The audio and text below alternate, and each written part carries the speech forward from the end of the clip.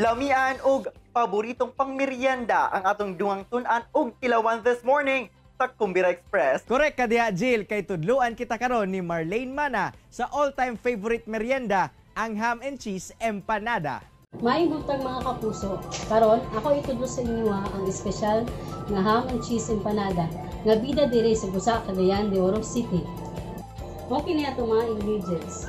Harina, mantika, butter, aus, sibuyas, patatas o carrots, ham, cheese, paminta o asin, margarine, asukal, ug tubig. I-mix muna nato ang asukal ug harina. Sunod, margarine.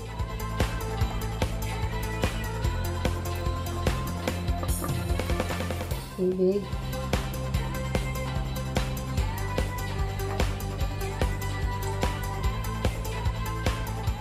Okay na ang atong dough.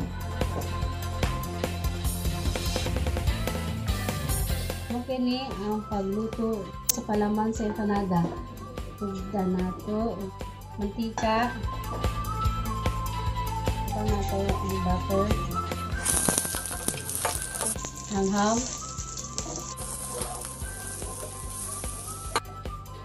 Sunod nato ang sibuyas. Ug aw.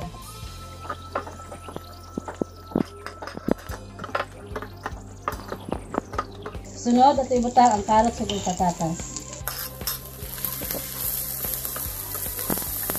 Paminta. O asin.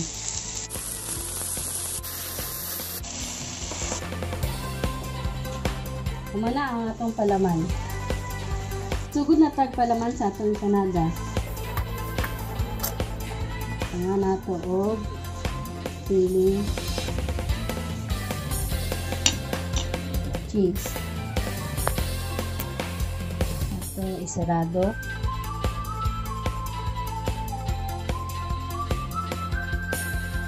Ready na ta magprito sa atong empanada.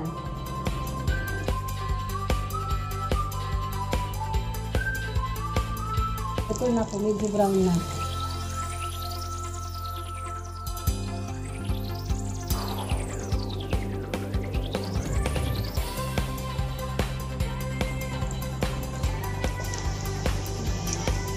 Mga kapuso, pwede na nato tilawan ang atong special nga ham cheese empanada.